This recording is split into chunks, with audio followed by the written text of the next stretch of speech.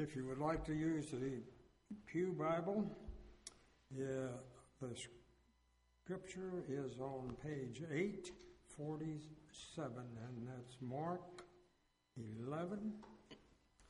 And we will begin uh, with verse 22 until the end of the chapter. And Jesus answered, saying to them, Have faith in God. Truly I say to you, whoever says to this mountain, Be taken up and cast into the sea, and does not doubt in his heart, but believes that what he says is going to happen, it will be granted him. Therefore, I say to you, all things for which you pray and ask, believe that you have received them, and they will be granted you. Whenever you stand praying, forgive if you have anything against anyone, so that your Father who is in heaven will also forgive you your transgressions. But if you do not f- forgive, neither will your f- Father who is in heaven f- forgive your transgressions. They came again to Jerusalem, and as he was walking in the temple, the chief priests and the scribes and the elders came to him and began saying to him, By what authority are you doing these things? Or who gave you this authority to do these things? And Jesus said to them, I will ask you one question, and you answer me, and then I will tell you by what authority I do these things? Was the baptism of John f- from heaven or f- from man? Answer me. They began reasoning among themselves, saying, If we say f- from heaven, he will say, Then why do you not believe him? But shall we say from man, they were afraid of the people, for everyone considered John to have been a real prophet. Answering Jesus, they said, We do not know. And Jesus said to them, nor will I tell you by what authority I do these things.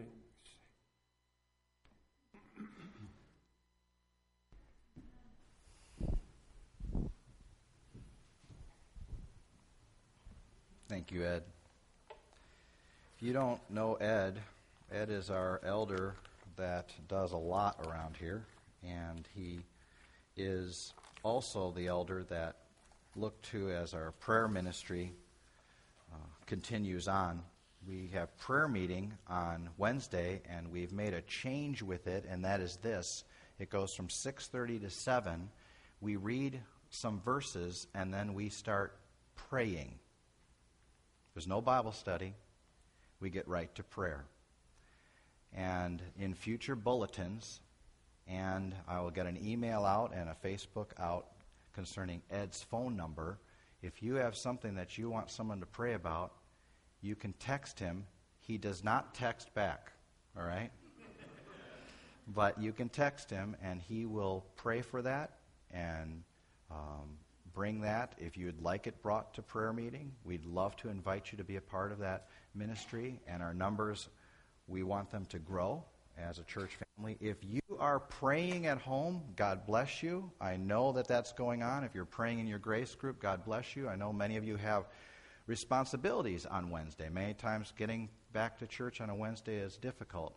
But if there's times where you're like, you know what, I, I think I need to get to prayer, you are more than welcome. And we start at 6.30 and we end at 7, and I just want to invite you uh, to be a part of that ministry. Let's pray again. Father, we can't talk to you enough. Uh, your son modeled it when his disciples were with him. They saw him as a person of prayer, and so they went to him and asked, said, Teach us to pray. They, they pleaded with him, and then he gave them a model prayer for themselves. And we ask you, God, that we would be people that would call out to you. And so, in this section of Scripture, when prayer is talked about, I'd ask you, Father, that you would be the teacher on this, that you would uh, grab a hold of our hearts and give us an understanding of why is this so important to you. Um, you're all knowing. You know what's best. You do what's best. Why talking to you about these things is important? Well, you told us to do it. And so we're asking, Father, that you would help us this morning as we once again look into your word. And we pray all this in Jesus' name. Amen. I hope you have your Bible open. If you don't have a, a book or you have your tablet open or your phone or whatever, but to look at the scriptures, and there's a section in your bulletin, bulletin pull that out and write some notes down. And I kind of want to get you started by thinking about this, and this isn't in your notes, but you can write these questions um, and just chew on this a little bit. But I'd like to ask you do you want to know truth? Do you want to know the truth about stuff, about life, about things, about God? Do you really want to know truth?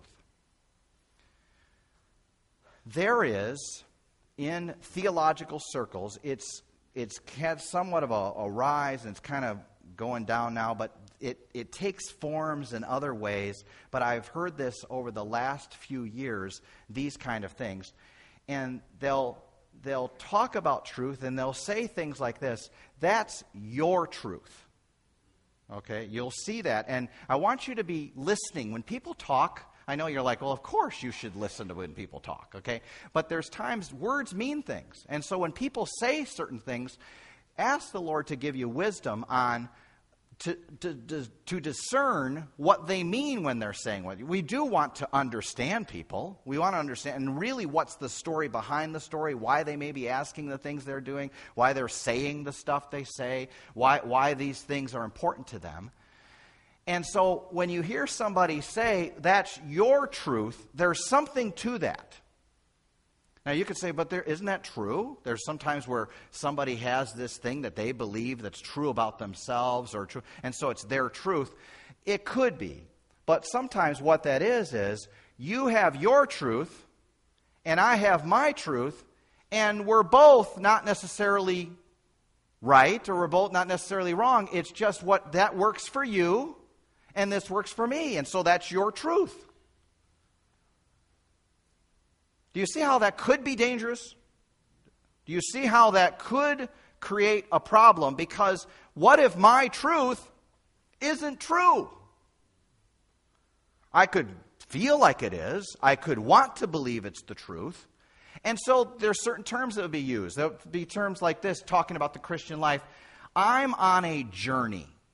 And there's even a church I know that Josh uh, Duran has been at called Journey. And I love the name because obviously we're all on a journey in this life. We're on a journey. But we're working toward a destination, aren't we? Aren't, isn't there some place that we're heading?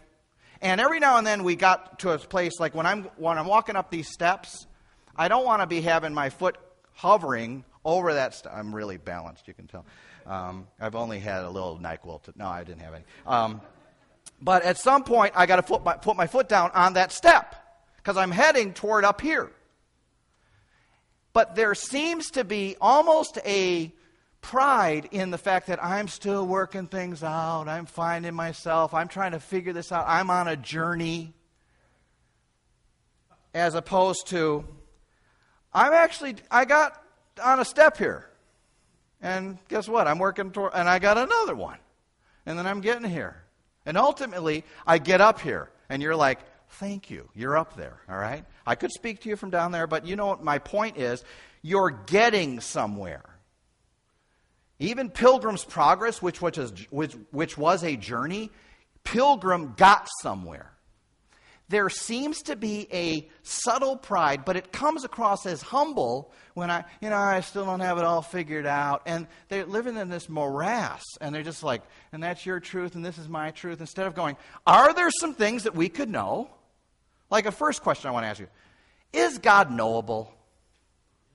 Okay, but, but you'll hear phrases like, there's mystery. And you'll even say it like Doug Henning as a magician, mystery. And you're like, I don't know if you remember Doug Henning. I'm, i date myself constantly with you guys. He was on Johnny Carson. Johnny Carson was this guy. No. Um,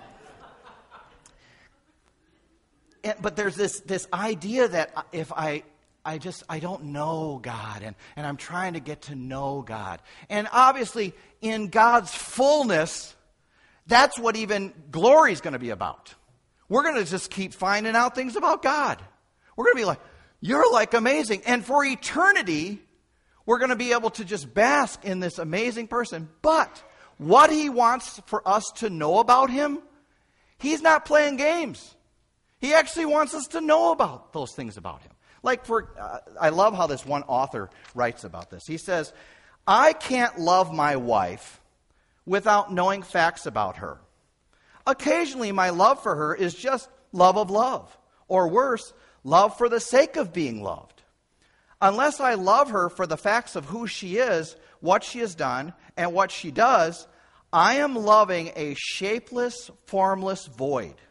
No matter how much I rightly stress the importance of relationship with my wife beyond mere knowledge about her, I must have knowledge about her in order to have a relationship. After all, if I don't know any of the abstract and impersonal facts about my wife, like her hairstyle, eye color, height, etc., how can I have a personal relationship with her? I won't even be able to pick her out of a crowd. It matters little how glowingly I speak about our relationship if I cannot make clear, certain, unequivocal statements about my wife. How good is our relationship really? Prattling on about the wonders of personal relationship while refusing to make definite statements about the one we love in the relationship is not the kind of talk that honors my wife or God, for that matter. And so there will be people that will say, uh, yeah, I don't know if you can know God completely. Well, obviously, we can't know Him completely. Someday we will. But there are things that He's made us aware of us. In fact, He says this in Acts 17, verse 23. Acts 17. So He said, for, and this is uh, Paul wa- working through Athens, and he saw all of these idols, and it kind of grieved his heart, and, and he stops and he says, For as I passed along and observed the objects of your worship, I found also an altar with this inscription to the unknown God. What therefore you worship as unknown, this I proclaim to you. So Paul had a firm, concrete belief I can tell you, oh God. He, I, I know him, and I'm introducing you to him. And it's in the person of Jesus Christ. Now, some of you might be going, Are there really people out there? I'm telling you, there are.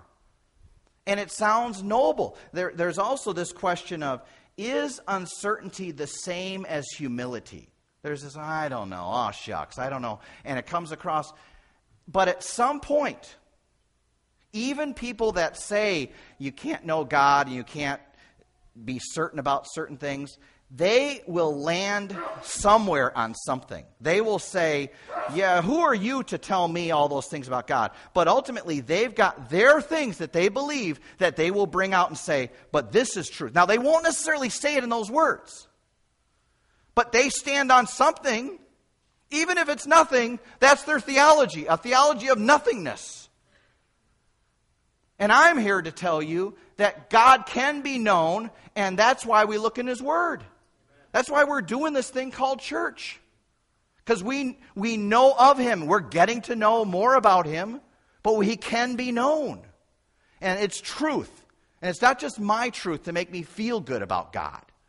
Remember when this, these things have been happening in our country lately, and there's been people pushing back on you know, our thoughts and prayers after this kind of event that happened this past Wednesday, our thoughts and prayers, and that's not enough. This, this, this, this thoughts and prayers thing, uh, thoughts only mean so much, but prayers is pretty good stuff, all right?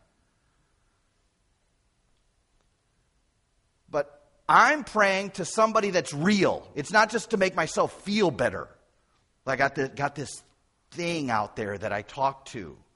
He's a person that cares. Last question to think about Is doubt the essence of faith? That's another thing, talking about doubt. And it's lifted up as, oh, that person doubts. They're incredible.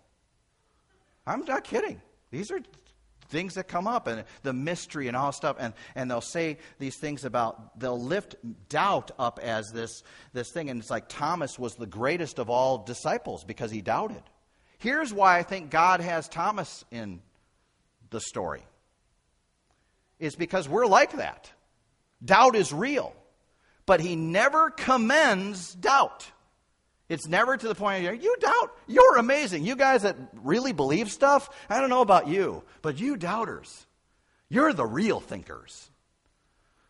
Could I actually stand true on something and believe things and actually be a thinker?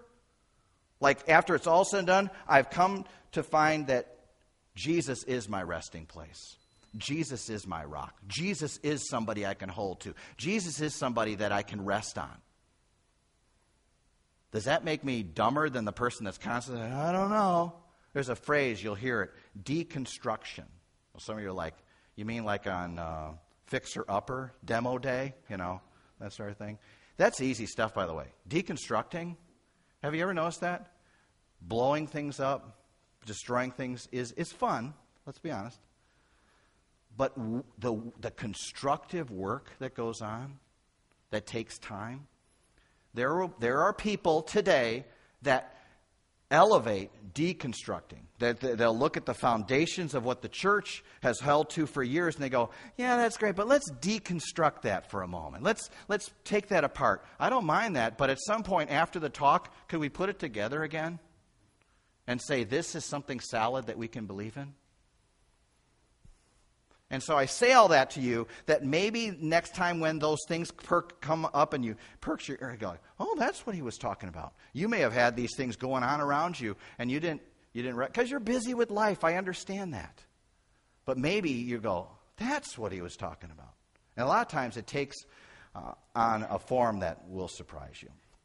Well, let's work through this together because I think part of this, oh, yeah, um, look at what Jesus, how he responds to doubt. Matthew 14 31. Jesus immediately reached out his hand and took hold of him. This is, this is the story where Peter has responded and he's, he's falling and he reaches out. He says, Oh, you a little faith, why did you doubt? And so he's not commending doubt. He's saying, he understands that we doubt. Remember when even uh, John the Baptist's disciples were like, question, even John the Baptist, he's in prison. He's like, what's going on? He started to doubt and stuff like that. And Jesus doesn't go, you know, that's okay. That's everything's cool with that.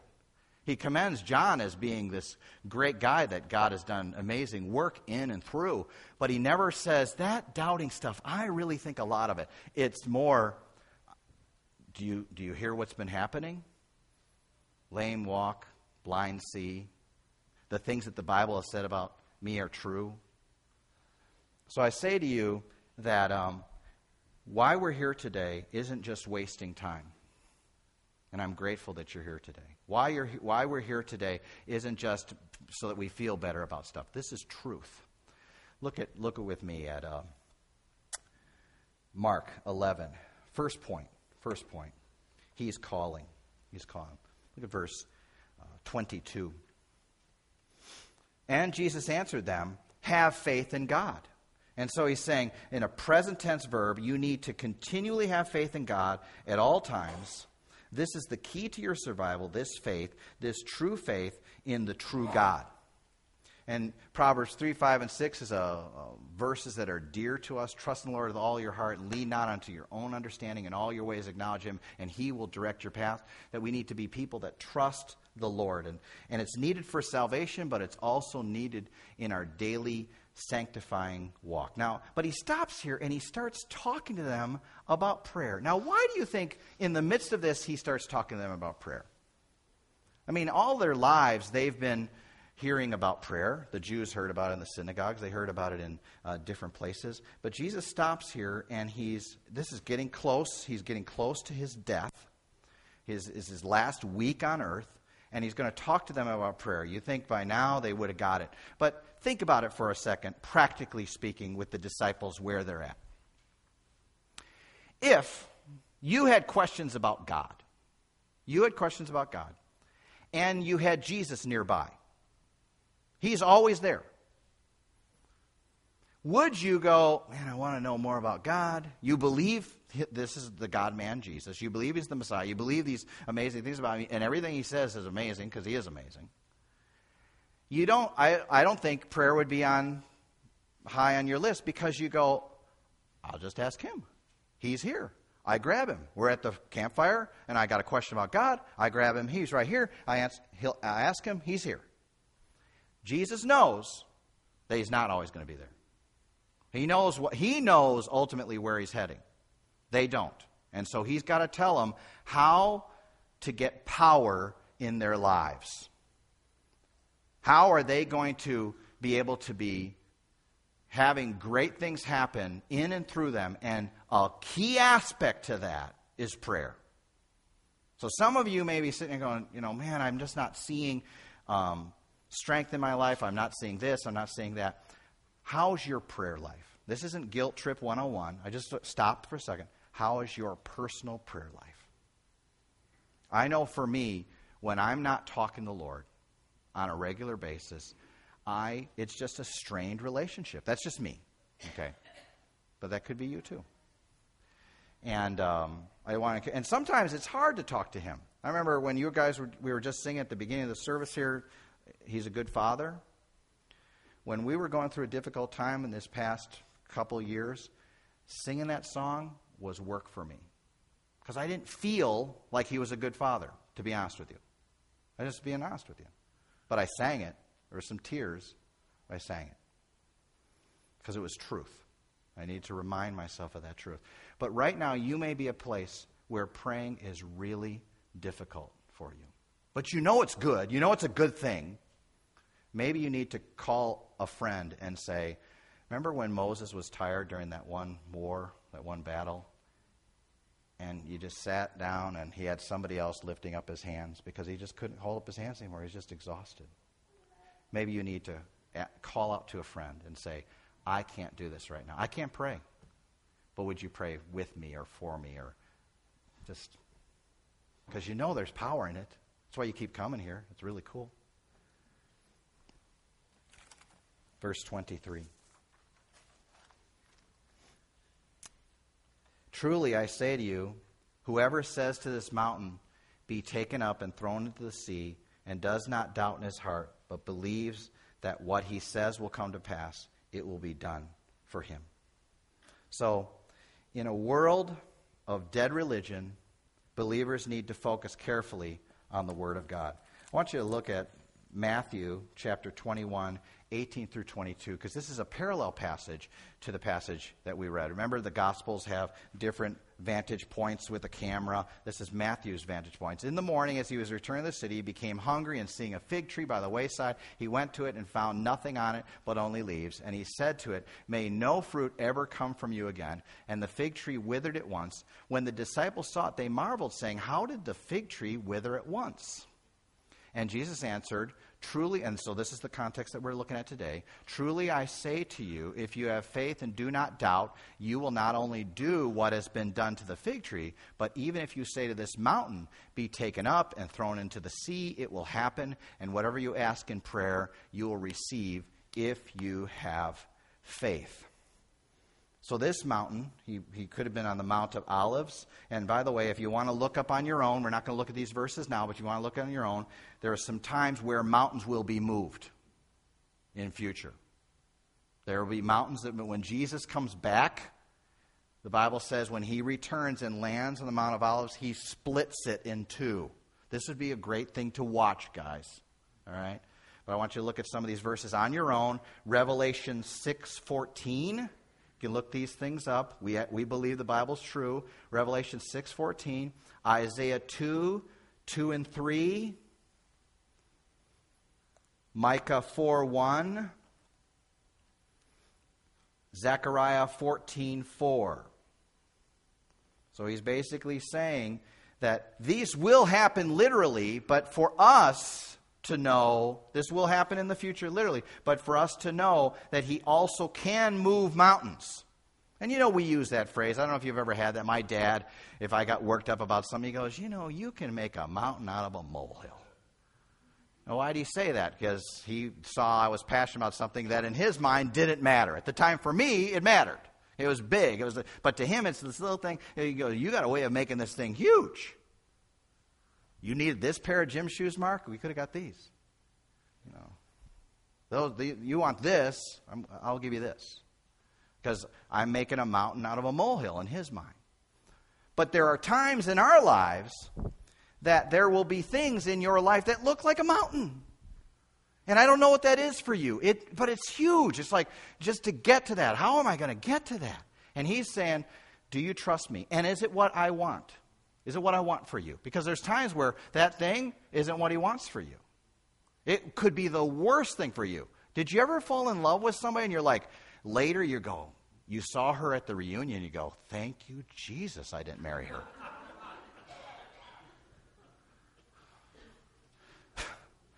Wait a second. There were some women staring at me at the reunion, going like this. No. Um, but at the time, that's just like the biggest deal. So he's, he's saying to you and to me, I want you to keep asking. Look at verse 24. Therefore, I tell you, whatever you ask in prayer, believe that you have received it, and it will be yours. Keep believing need to talk to the Lord. And when you hear a verse like that, you go, This is for some people. You know how people name it and claim it, and if you just pray over it, and if I got this word, and they'll say all that stuff, and they'll just beat that drum. But there's other verses in the Bible that help us with this verse. James 4 3. You ask and do not receive because you ask wrongly to spend it on your passions. And so I could, if my, if my motives are wrong, if my passions are wrong, and I'm praying out there, just so you know, He's not going to answer that prayer because it doesn't line up with His will. But He's calling on us to pray, to talk to Him, to get to know His heart. Keep believing. James 1 5 through 7. If any of you lack wisdom, let him ask of God, who gives generously to all without reproach, and it will be given him. But let him ask in faith with no doubting. For the one who doubts is like a wave of the sea that is driven and tossed by the wind. For that person must not suppose that he will receive anything from the Lord. And then lastly, there's a, there's a part of this verse that, or the part of this section about prayer that must keep in mind as we're going to the Lord in prayer. Look, look at this, verse 25. And whenever you stand praying, forgive. If you have anything against anyone, so that your Father also, who is in heaven, may forgive you your trespasses. So you might be, man, I've been talking to God, I've been asking Him for stuff, I've been, you know, and I think it's His will, but you got this attitude, you got this thing against somebody.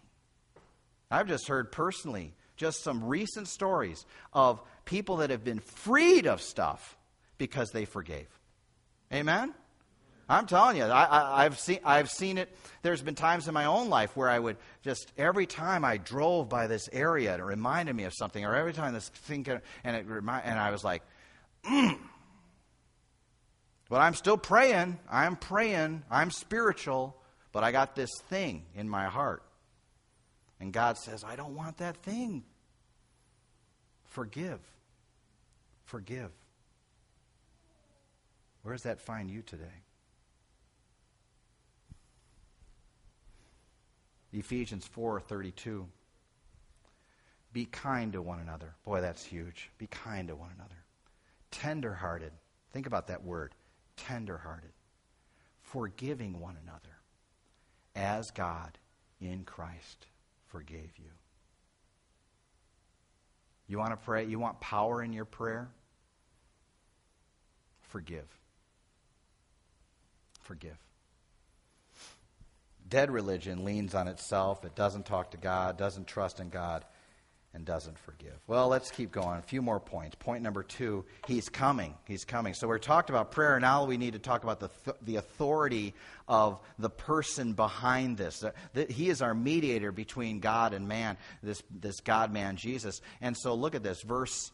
Uh, 27, the first part. And they came again to Jerusalem, and as he was walking in the temple, so Jesus is now walking into the temple, he's making his way. This is crunch time. This is, this is the, the time where some serious things are going to happen. Uh, in sports, this is the time where we, it's the pregame stuff. And now he's walking into the stadium. And there's big hype when it comes to sports. This is bigger than that. This is bigger than that. And he's walking into the temple. So he's coming. Point number three, he's confronted. Look at the second part of verse 27 the chief priests and the scribes and the elders came to him. You ever have that situation where you're going to go and meet somebody, you see somebody walk in, and you make your way right to them? I don't know if you're that kind of person. I don't know if you hide from people, but these they've dealt with this God man. They don't know he's a God man. They don't think much of him. They've been used to things by their rules. Just just a day earlier, he had cleaned house. Remember that? My house is, you have made it a den of thieves. My house is supposed to be a house of prayer. He's turning things over.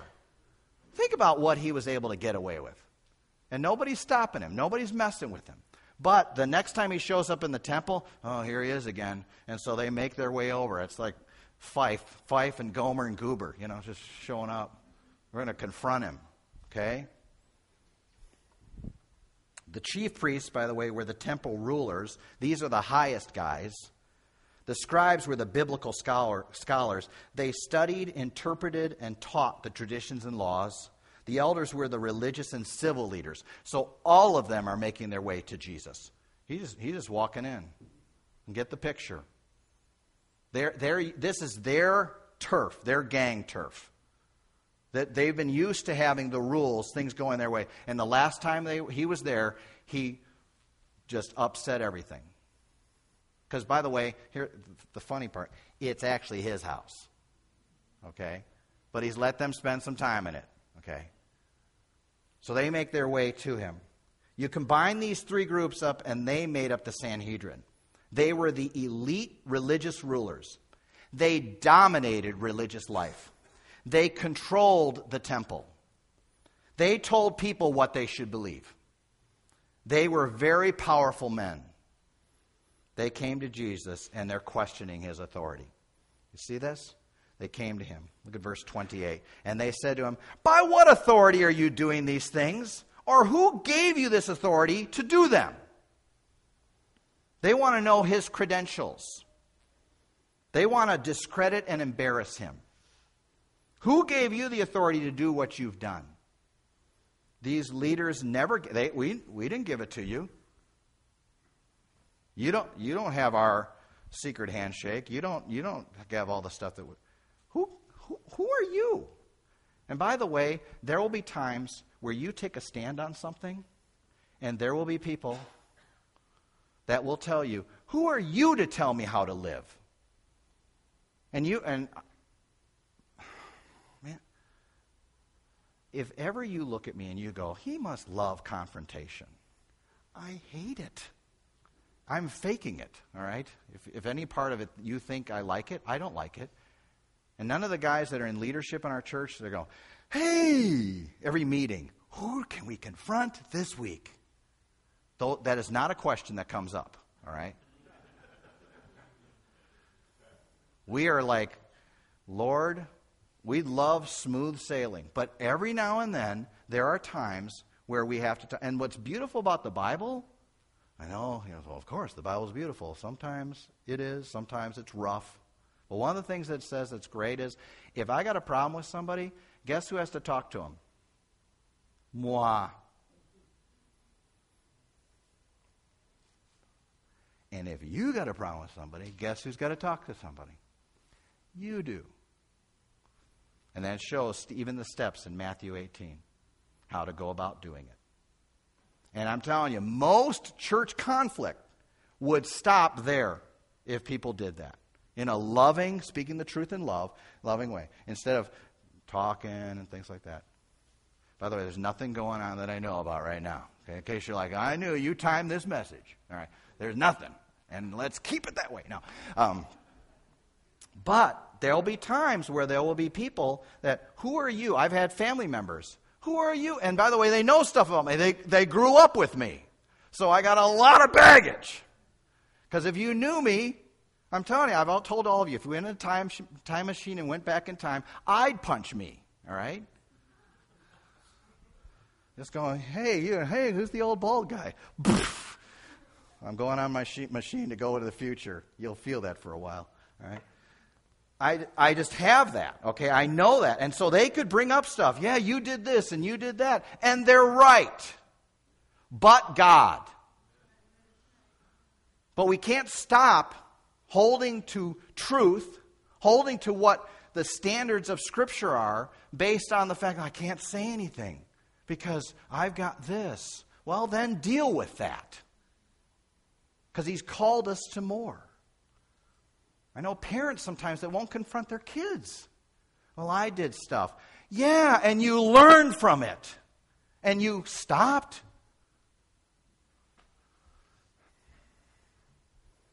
And so now they're going to him and they want to discredit him. Who are you? Who gave you the authority to say stuff to us? And by the way, when we speak as leaders, we got no authority in of ourselves. My education doesn't give me authority. My intellect, really, doesn't give me authority. Here's what gives me authority to speak into somebody's life the Word of God. I'm just an ambassador, I'm just sharing. And that, as a parent, if you need to deal with a kid, you got authority the Word of God. Husbands and wives, in your conversations, going in the Word of God, in grace, and in speaking the truth in love. Instead of, oh, I don't want to say anything, okay, you keep sweeping under a rug. You know how puffy that rug gets after a while? You're tripping over that mug, but oh, everything's fine at our house. I don't know what that is. Oh, never deal with it. Vacuum cleaner, baby. All right. Leaders never gave it to him. But the masses loved him. The masses loved him, and the leaders hated him. Look at verse uh, 29. Jesus said to them, I will ask you one question. Answer me, and I will tell you by what authority I do these, two, these things. So he's got two questions that he's been asked, and he goes, You know what? I'll answer your questions if you answer this one question for me. Pretty good deal.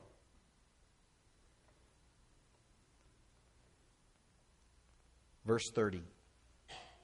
Was the baptism of John from heaven or from man?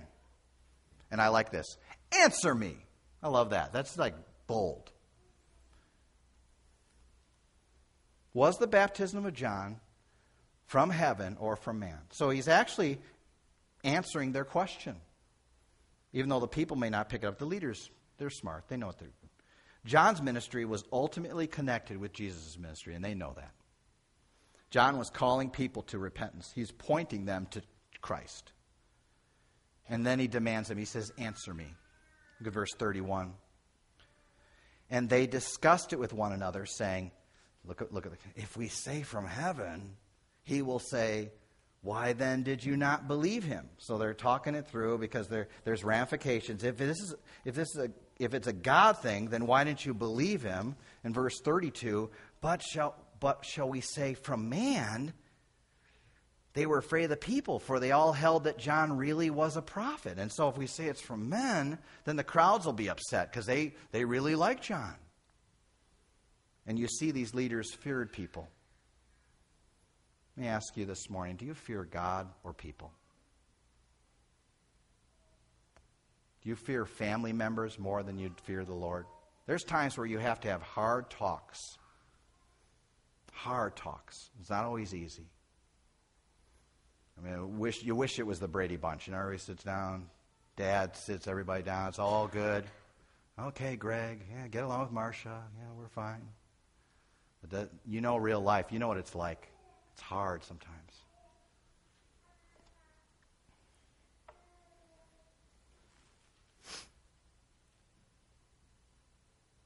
So, and this must have been hard for them.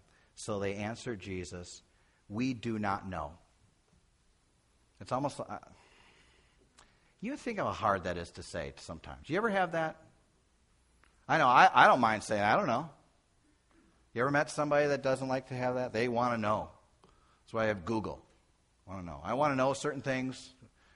Well, what, what, we'll be watching a show, and Kim will go, Man, where have I seen that guy before? There's this amazing invention where I can just look it up. Oh, yeah, he was in Dick Van Dyke Show. Yeah. Okay, now we can sleep. It's all that important thing we know now, right? I like to know the answer. And these guys are really arrogant. They, they, people go, what do you, oh, God's this, blah, blah, blah. And so he asks them a question. They go, we, we, we don't, we do not know. That must have been hard for them to say. And look how he responds. And Jesus said to them, Neither will I tell you by what authority I do these things. Do you love it? If you won't answer me, then I won't answer you. And I don't answer to you. You see, I am the truth. I want you to take a look, take a look at the future things here that we're going to be looking at, chapter 12. What he starts to do is he start he starts to deconstruct, but what he's not he's not de- deconstructing scripture. He's deconstructing a false belief system. And the first thing is a parable that he deals with the Pharisees. He deals with all the leadership. And then he deals with the Pharisees. And then he deals with the Sadducees. And he deals with the scribes. And right, he's going right where they're at. And he's dealing. And this is what God does. This is what God does to you and me if we're willing to hear him. There will be times where, I, do you want the truth? Can you handle the truth? Because there's going to be times where he's going to start telling us the truth about us. And we look in the mirror and we go, oh, that's rough. But I'm telling you because I love you and I want the best for you. The Pharisees, Sadducees, and scribes had many, hear me on this, many conversations with Jesus. Many. They talked a lot. But they, hear me, never came to Jesus to find out the truth. Think about that. Conversation after conversation after conversation. Loads of them. Not once did they come to him to hear the truth. How are we doing? Oh, by the way, Nicodemus did. John 3, Nicodemus did. And Jesus told him the truth. He said, You must be born again. And if you aren't born again, you will not see the kingdom of God.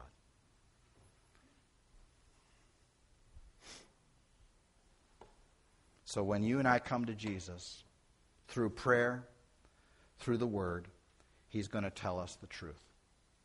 And the question I have for you this morning is do you want it? Sometimes the truth is hard, sometimes it's great, but for you, and it won't be just your truth, it will be the truth. Let's pray.